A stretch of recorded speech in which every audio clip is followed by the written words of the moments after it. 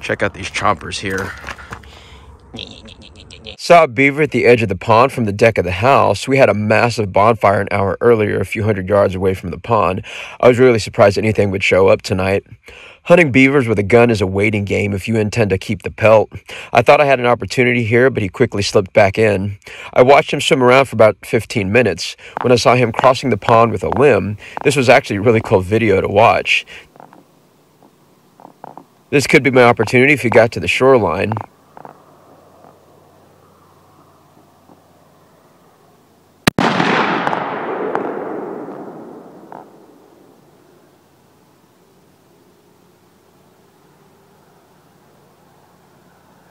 Dang it. It's too far out. Don't sink. Watching him float toward the open area of the pond, I figured he would probably sink.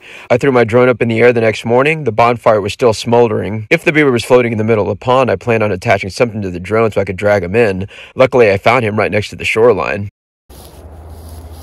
Actually noticed um, that this beaver was building a dam at one of our culverts over there Oh, this is another big one. Dang, this guy's big.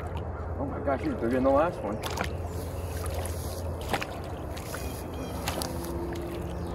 We actually don't mind them damming up that part because that goes into a major creek. But when they start damming up by the culvert, it really messes with the house's system here. Come here. Oh. my gosh, another big beaver. Look at this thing. They're so slimy. I've looked everywhere to find this bullet. He was this direction when I shot him, and I was aiming a little high because of his uh, close distance, and I was just sitting up on top of the dam. I've even looked on this side, and I can't seem to find an exit. So that cutting bullet, cutting edge bullet may be sitting in him. So uh, check out these choppers here.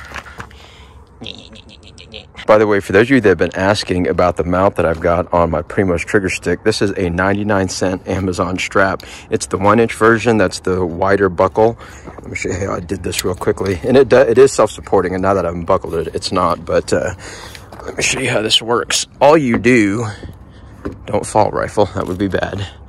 Uh, let me undo this over here and untick this plate apart.